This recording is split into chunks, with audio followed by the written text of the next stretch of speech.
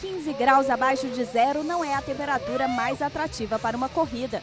Mas 50 atletas superaram a natureza adversa da Antártida para a décima maratona do gelo.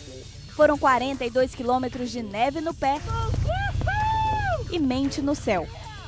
Além do frio, os atletas enfrentaram vento e carregaram peso de várias camadas de roupas para manter o corpo aquecido. No caminho, uma paradinha para um chá. Apesar das dificuldades, este corredor disse que foi a melhor prova que ele já correu, que tudo é tão bonito que ele não poderia pedir mais.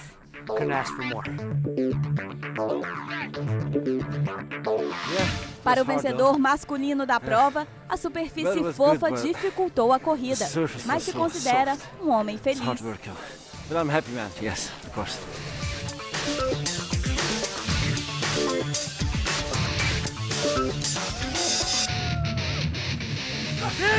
Teve até representante brasileiro.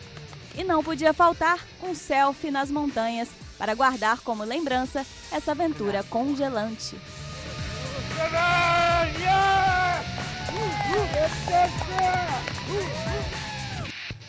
Christian.